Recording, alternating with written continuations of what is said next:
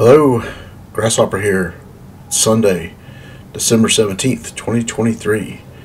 So, I had some, um, th- I was thinking today, and um, the topic of toxic masculinity, masculinity popped into my head. Um, and that got me thinking, okay, you hear about that, but you never hear about toxic femininity. So I was like, I wonder if that's uh, if anyone if there's any uh, information about that. So I went to Grok on X and I asked I just asked Grok. I said, "Is there such a thing as toxic femininity? If so, what is it?" And then Grok Grok replied, "Oh, you're asking about the dark side of the moon." And that was funny to me, and and really messes with my mind because I was talking to Grok um, recently about music and and um, and Pink Floyd, and uh, I think Grok said it, its favorite Pink Floyd song was "Wish You Were Here." Um, you know, good song. Uh, and I, but anyway, uh, it's funny to me, and I also talked about uh, Dark Side of the Moon and the whole Wizard of Oz thing. Um, anyway, um, but it's just funny that this it came back with this joke. I kind of wonder, it's like, did it? I mean, is it tied to what we talked about before? Is it remembering, or is it just random, just a coincidence? Um, if it's if it's if Grok's being clever here and referencing something that we talked about from you know a couple days ago, it's like well, that's that's kind of cool. At any rate, Grok said goes on to say. Um, Toxic femininity refers to the negative aspects of traditional gender roles and stereotypes associated with women. It can manifest as manipulative or controlling behavior, passive aggressiveness. I've definitely experienced that myself. Or an unhealthy obsession with appearance. I'd say that's very true. Um, just like toxic masculinity, toxic feminism, or femininity can be harmful to both the individual and society. Remember, no one is perfect, and we should all strive to be to be our best selves, regardless of gender.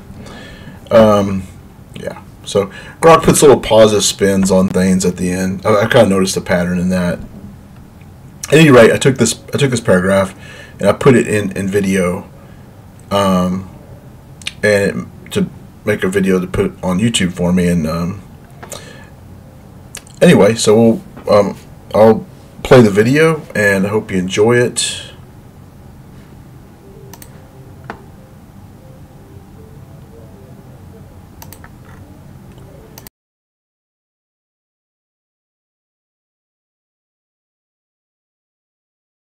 Ever pondered the deep, profound question why do we box ourselves into roles and stereotypes based on gender?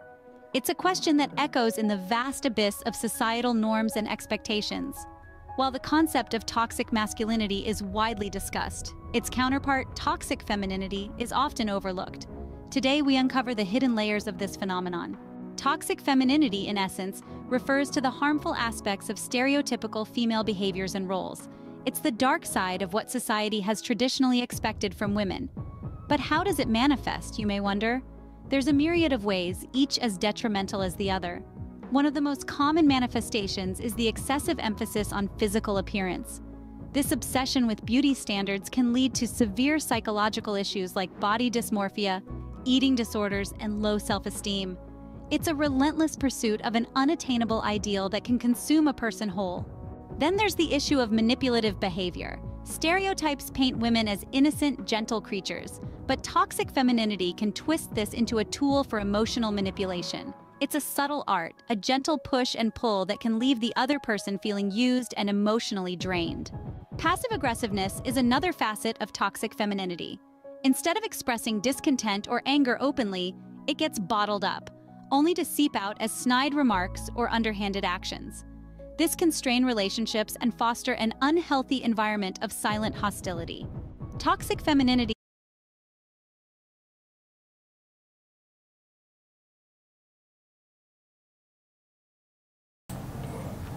I just wanted to pause um, there real quick. Um, yeah, I, I, mean, I think that's uh, the bottling up of emotions. I think that's um, uh, that's a problem that all genders have, all peoples have, um, all um, organizations have, all groups have. I mean, it's just, it's just kind of like everywhere because people don't speak truth, you know. So that it's uh, so they're always like trying to thread this needle, uh, you know, um, walk on eggshells, what do you want to call it? Um, and that's that goes back to too many rules. It's like, you know, and you and also this, uh, what is it like this? Um, it's really strange. Like this thing of like making mistakes is considered like a really bad thing, and you get canceled by society, I guess, if you're uh, you make a mistake, and it's really weird because like sometimes it's like mistakes that's like it does that doesn't even matter. It doesn't affect anything. Nobody was harmed, you know.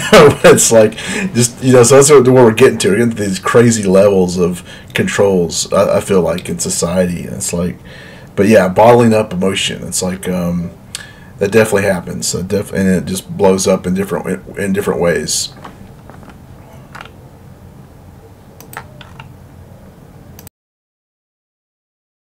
doesn't just affect women, it impacts everyone around them.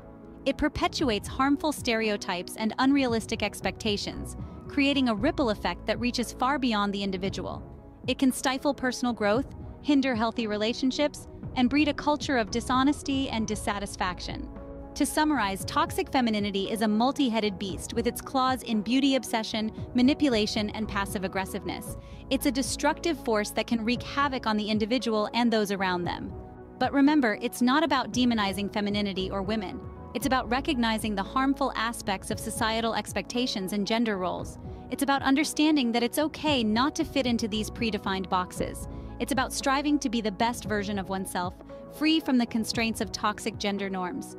So the next time you find yourself falling into the trap of these stereotypes, take a moment to pause, reflect, challenge the norms. Because at the end of the day, we're all just human, trying to navigate this complex web of societal expectations. And it's high time we break free from these toxic patterns. In the grand tapestry of life, let's weave a narrative that celebrates individuality, encourages healthy behavior, and dismantles toxic norms. Because everyone deserves a chance to be their authentic selves, free from the shackles of toxic femininity and masculinity.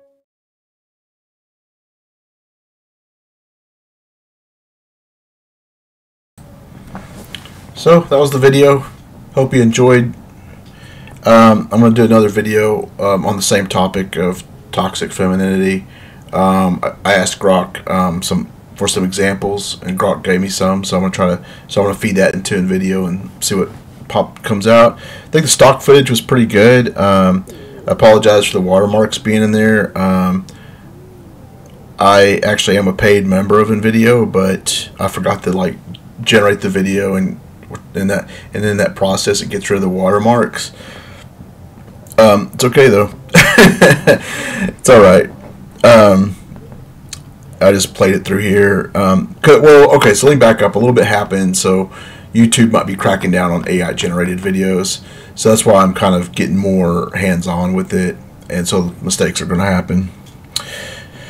Uh, so what else? Uh, yeah, so the next video will be like examples of it. But anyway, I hope you uh, enjoyed the video, and I'd appreciate it if you uh, like and subscribe.